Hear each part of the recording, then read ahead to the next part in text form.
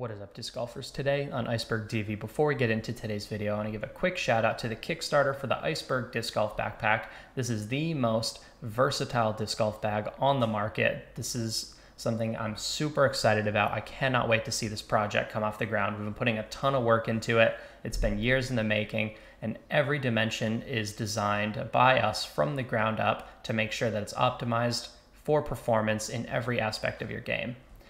If you want to be part of the Kickstarter, the link is in the description below. Now, I want to make predictions for the Champions Cup presented by Bushnell, huge sponsor coming into this event.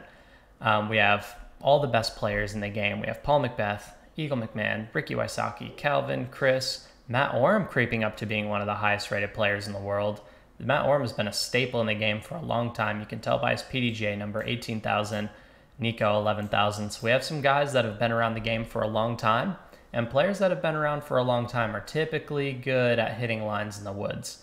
So these are two guys that I think are actually going to make lead card at some point in this tournament.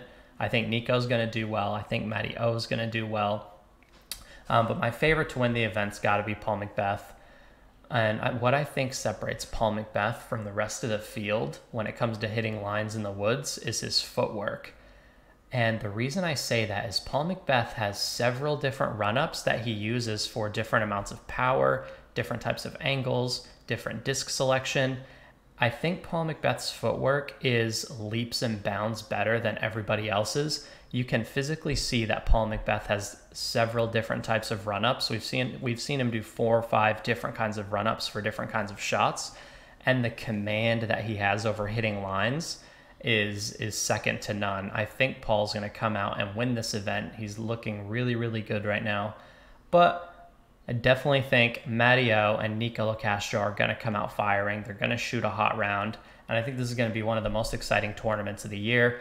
And the impact that winning a major has on your career can be completely game changing for how much money you're making, your contracts in the future, your your eligibility to make the big bucks down the road changes. So when you can come out and win a major, the Champions Cup on WR Jackson, one of the most iconic, most difficult courses that disc golf has to offer down in Augusta, Georgia, it's going to have a massive impact on your career. And I cannot wait. I'm going to watch every single round of this tournament. I'll probably be watching it live.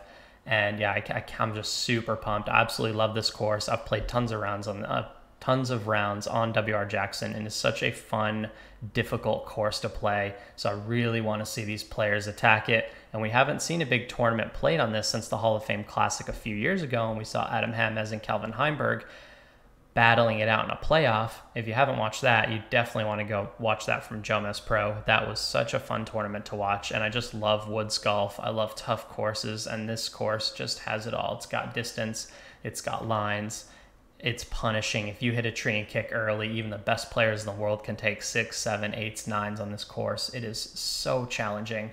So I cannot wait to see these guys attack WR Jackson.